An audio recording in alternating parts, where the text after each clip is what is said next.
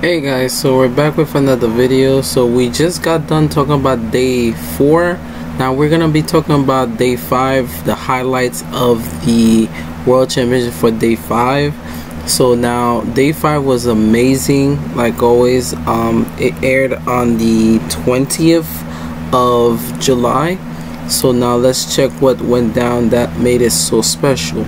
Okay, so let's go right into it. So for day five we had so much upset from this event like all the events that went down. It was pretty crazy okay? So let's check it out. So when we looked upon the afternoon and morning session we basically gonna talk about you know what went down. So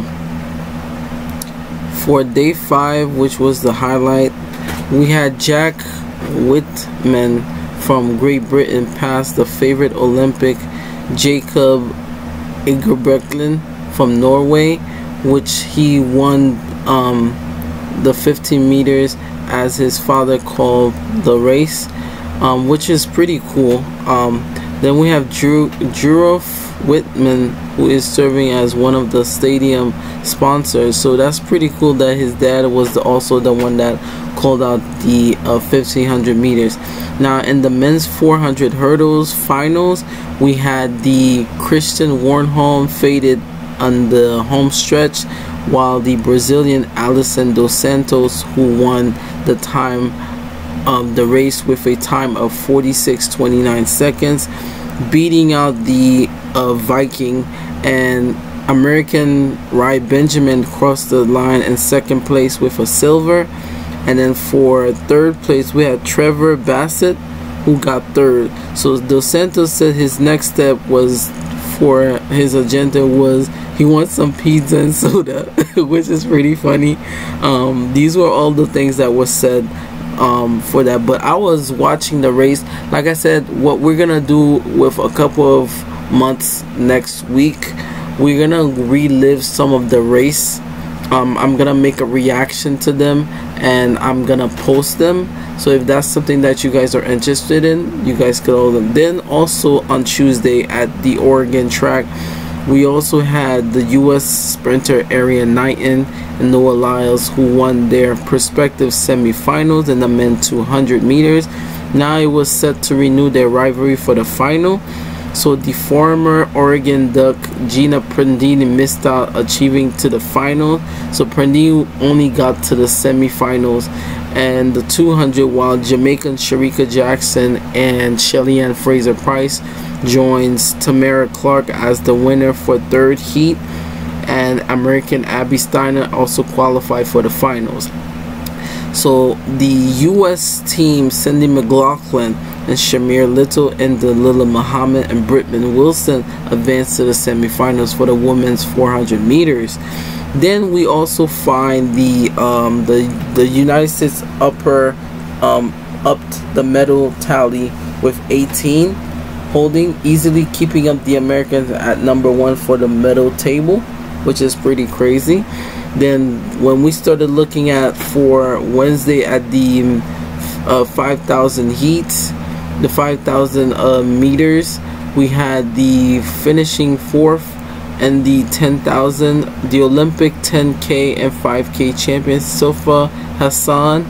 For the I think that was the women's 10,000 5,000 from the Netherlands will be back for the 5000 so will the American Carousel Schweizer and the one that finished 9 on Saturday in the 10,000 Elsa Cranny who won the 5000 in the US Championship trained for Schweizer on Portland.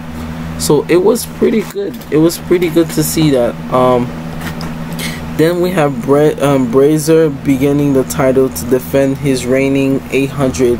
Donavan Brazier, who is the reigning world championship uh, athlete from I think Doha, um, who trains in Portland and the Union um, Athletic Club, began his defending his title.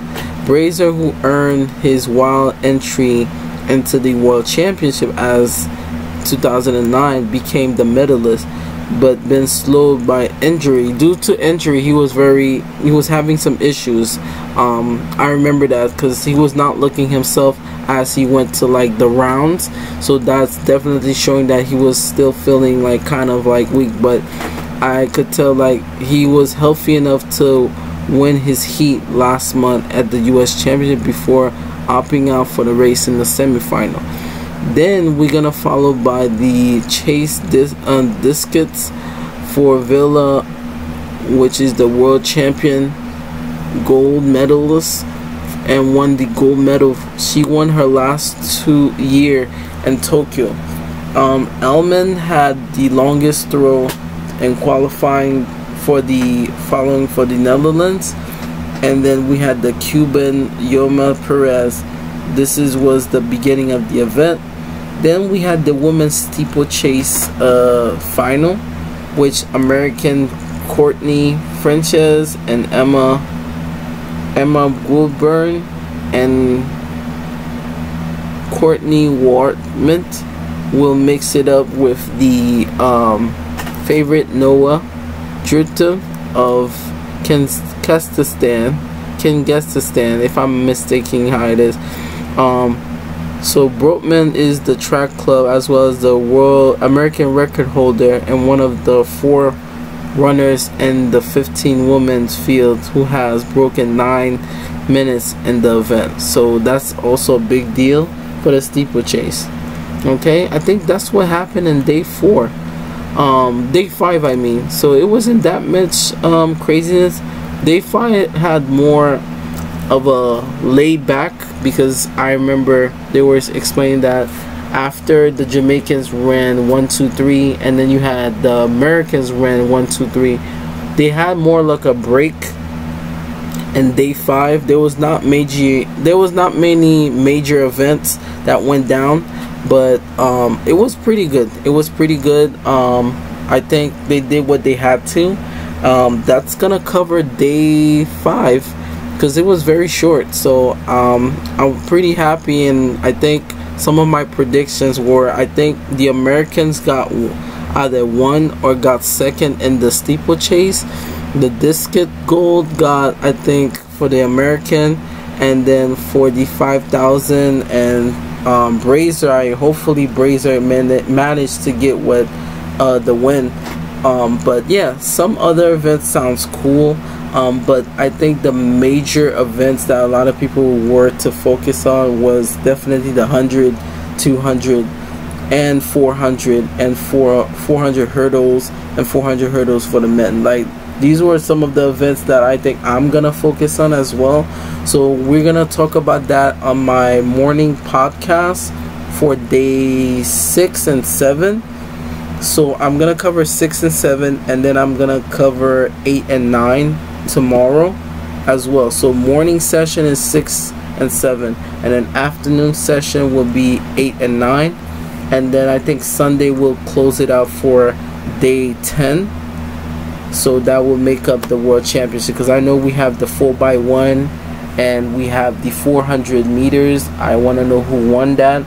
Um, for the 200 and yeah it's gonna be good. It's gonna be good. As always guys make sure guys subscribe. I wanted to do the videos like this because for the other two podcasts i want to i want to cover um, episode 13 and episode um episode 14 and 13 those will be for the day 4 and day 5 and then episodes 15 and 16 will cover day 6 and 7 and then lastly we'll cover day 8 and 9 for Saturday later on Saturday. And then we'll cover the last one which will be day 10 so we'll, we'll be right on schedule okay guys? So as always guys make sure you guys like and subscribe.